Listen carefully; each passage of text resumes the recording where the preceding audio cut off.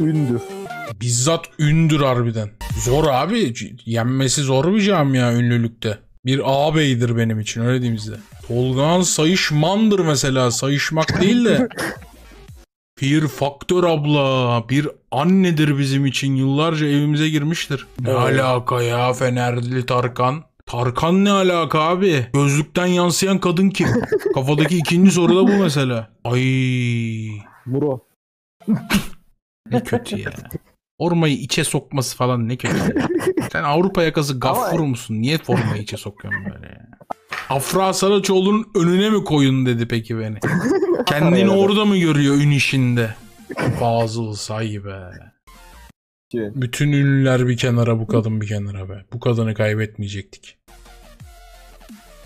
Çok abi Aynen. Dünyadaki en ünlü Trump. Fenerler çok Rekabet bitmiştir. Fenerler rekabet öldürücü gidiyor yani. Baksana usta Amerikan başkanı adam yani. Adam Amerikan başkanlığı yaptı beyler. Bu adam Beyaz Saray'da falan kaldı bir dönem yani.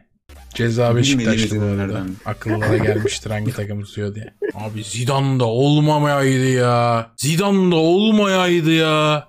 Of.